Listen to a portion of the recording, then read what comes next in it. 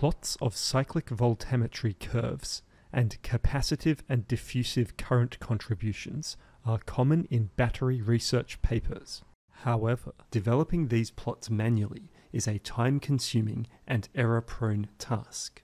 Consequently, I developed a program to automate this process and generate higher quality outputs. This video will first show a demonstration of this program, followed by a tutorial on its usage. Beginning with the demonstration, users begin by selecting the files to be analyzed. Several specifications are then provided, which will be explained in the tutorial. After clicking button 8, the program automates Origin to generate several graphs, the details of which will be described subsequently. Next, click button 9 to open the folder containing the generated outputs. These include a Word document that contains each graph with a generated caption. A PowerPoint file containing each image and caption is also generated. Finally, a folder containing each graph exported as an image is generated. This concludes the demonstration, so the tutorial will now begin. After selecting your input data files, enter the scan rate in millivolts per second for each of these.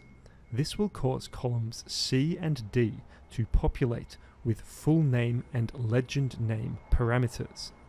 These parameters will be used to name the origin worksheets and legend entries respectively. The formulas in these cells may be overwritten if you prefer. Next, specify the cycle that you wish to plot from each data file. The first cycle often has a discontinuity due to the changing scan rate, so the second or third is typically preferred. Next, specify the active material mass for each data file. This value is used if users specify milliamps per gram as the unit for current. By default, this column will populate itself with the value entered in the first row, but this may be overwritten if you prefer. Next, optionally enter the voltage of peak current value for each data file. To illustrate the purpose of this value, it should be understood that the program will automatically identify the peak current in each of your CV curves. However, if your curves have multiple peaks, the program may not identify the specific peak that you wished to analyze. In this event, use the Data Picker tool in Origin to select your peak of interest and copy the voltage value into this column. Then run the program again and it will correctly extract your peak of interest.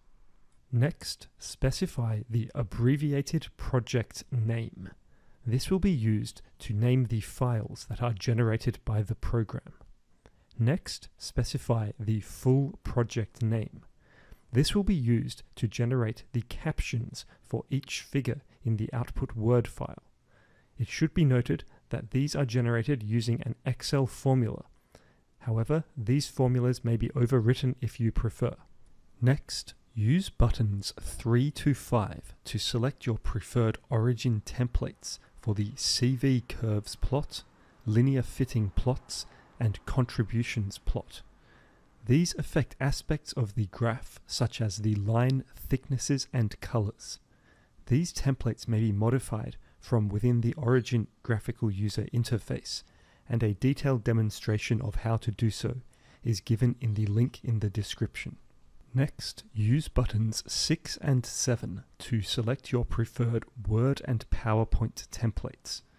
These templates affect various aspects of the generated documents, and again, a detailed demonstration of how to modify these is given in the link in the description.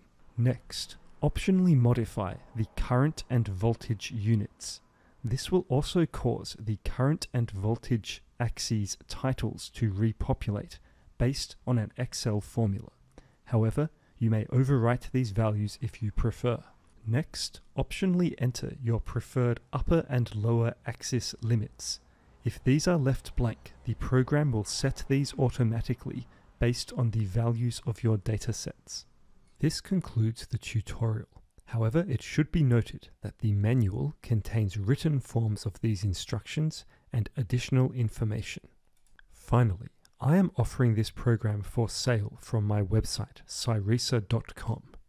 If this appears useful to you and you would like to consider purchasing it, then I would greatly appreciate it as this will enable me to keep making more programs.